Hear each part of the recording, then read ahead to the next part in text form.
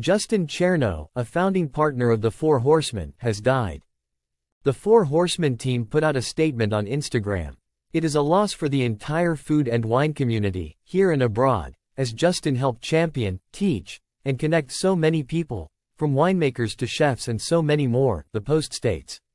We will mourn, and grapple with, this unimaginable loss forever. A spokesperson shared he was 54. The cause of death has not yet been made public. Eater has reached out for more information. Chearno has been a founding partner since the Four Horsemen opened on Grand Street in 2015. He was the wine director, and was recognized as a leader in the natural wine conversation at New York restaurants and beyond. He connected with LCD Soundsystem's James Murphy, another Four Horsemen founding partner, through being in various bands himself. He and the team expanded just before the pandemic with Night Moves Next Door, a nightclub with natural wine.